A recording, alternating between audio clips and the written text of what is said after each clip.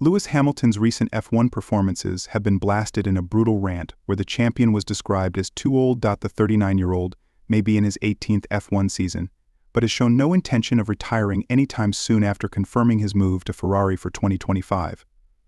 Hamilton's future team have become increasingly competitive in recent races.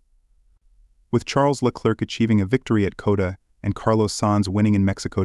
When Hamilton joins the team next year, he will be hoping that their pace remains to aid him in his bid towards a record breaking eighth world title. However, the champion's recent performances have left some questioning whether Hamilton has passed his prime, particularly as he has been outpaced by teammate George Russell.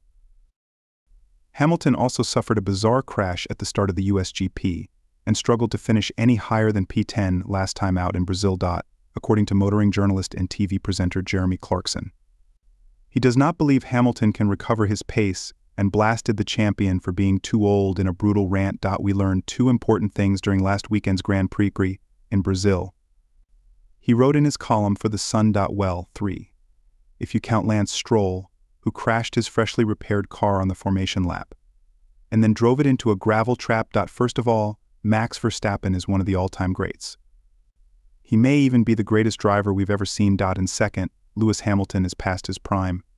He blamed his car for his tail end qualifying session, but his teammate, George Russell, was on the front row. Of course, it's possible that because Lewis is moving to Ferrari next year, the team are filling his fuel tank with lemon barley water instead of petrol. But that seems unlikely. It's far more probable that he's now too old.